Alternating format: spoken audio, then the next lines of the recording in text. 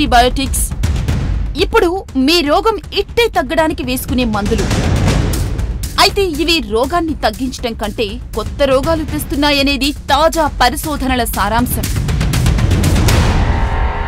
యాంటీబయోటిక్స్ను ఎలా పడితే అలా వాడితే చిన్నపిల్లల నుంచి వృద్ధుల వరకు అందరికీ ఎంతో అనర్థమని తాజా అధ్యయనాలు చెప్తున్నాయి. ఇటీవలే అమెరికాలోని మాయో క్లినిక్ జరిపిన అధ్యయనంలో చాలా కీలక విషయాలు బయటపడ్డాయి. యాంటీబయోటిక్స్ వాడిన పద్నాలుగు వేల ఐదు వందల మంది చిన్నారుల డేటాను సేకరించి మాయో క్లినిక్ పరిశోధనలు చేసింది. వైద్య రంగంలో యాంటీబయోటిక్స్ వాడకంపై ఈ పరిశోధన పునరాలోచించేలా చేస్తుంది. యాంటీబయోటిక్స్ వాడిన చిన్నారుల్లో డెబ్బై శాతం మంది వారు పెద్దయ్యాక వారి ఆరోగ్యానికి పెద్ద ప్రమాదమే అని తేలింది. వయస్సును బట్టి వారు తీసుకున్న యాంటీబయోటిక్ డోస్ ఆరోగ్యంపై ఎంత ప్రభావం చూపిందనేది క్రమంగా బయటపడుతుంది. యాంటీబయాటిక్స్ అనేవి శరీరంలో తాత్కాలిక మైక్రోబ్స్ను డెవలప్ చేస్తాయి. కానీ పిల్లల్లో సుదీర్ఘ కాలానికి ప్రభావాలు చూపించవచ్చని పరిశోధకులు హెచ్చరిస్తున్నారు.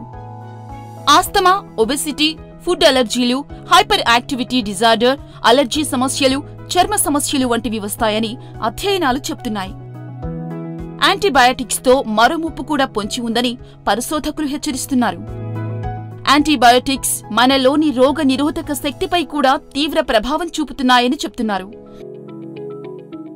పంతొమ్మిది వందల ఇరవై ఎనిమిదిలో అలెగ్జాండర్ ఫ్లెమింగ్ పెన్సిలిన్ను కనుగొన్న తర్వాత క్రమంగా యాంటీబయోటిక్స్ అభివృద్ధి పెరిగింది. రకరకాల బ్యాక్టీరియాలను మట్టుపెట్టడం సులువైంది. ఇన్ఫెక్షన్లను ఎదుర్కోవడం అతి సాధారణమైపోయింది. కానీ మన అలవాట్ల వల్ల నిర్లక్ష్యం వల్ల యాంటీబయోటిక్స్ను తట్టుకునే శక్తిని కొన్ని రకాల బ్యాక్టీరియాలు సొంతం చేసుకున్నాయి. మందులకు లొంగకుండా ఏకంగా తమ నిర్మాణాన్నే మార్చుకుంటున్నాయి. దాంతో ప్రపంచవ్యాప్తంగా యాంటీబయోటిక్ రెసిస్టెన్స్ ప్రమాద ఘంటికలు మోగిస్తున్నది. న్యూమోనియా ట్యూబర్క్యులోసిస్ రక్తంలో ఇన్ఫెక్షన్లు గొనోరియా లాంటి వ్యాధుల విషయంలో చికిత్స అనేది పెను సవాలుగా మారింది.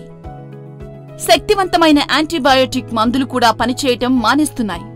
ఈ నేపథ్యంలో అతి సాధారణ ఇన్ఫెక్షన్లు సైతం ప్రాణాంతకంగా మారుతున్నాయి. అసలు ఎందుకిలా జరిగిందనే దానిపై కూడా పరిశోధనలు దృష్టి సారించి కొన్ని ముఖ్యమైన కారణాలు వివరించారు. అందులో మొదటిది విచక్షణ లేకుండా యాంటీబయోటిక్స్ను వాడకం. రెండోది చికిత్స కోర్సు పూర్తయ్యేంత వరకు పేషెంట్లు మందుల వాడకాన్ని కొనసాగించకపోవడం. మూడోది డాక్టర్ సిఫార్సుతో సంబంధం లేకుండా మధ్యలోనే యాంటీబయోటిక్స్ వాడకాన్ని ఆపేయడం. నాలుగవది హాస్పిటల్స్ క్లినిక్లలో ఇన్ఫెక్షన్ల నియంత్రణ సరిగా లేకపోవడం. ఐదవది పరిసరాల్లో పరిశుభ్రత కొరవడటం. ఆరవది మనం ఆహారంగా తీసుకునే జంతువులు చేపల పెంపకంలో కూడా యాంటీబయోటిక్స్ని అతిగా వాడటం. ఏడవది కొత్త యాంటీబయోటిక్స్ అభివృద్ధి పూర్తిగా మందగించటం. యాంటీబయాటిక్స్ను విచక్షణ లేకుండా వాడటం వల్లనే యాంటీబయోటిక్ రెసిస్టెన్స్ సమస్య తీవ్రతరమవుతుంది. కాబట్టి వివిధ దశల్లో దీన్ని నియంత్రించాల్సిన అవసరం ఉందని వైద్య నిపుణులు హెచ్చరిస్తున్నారు.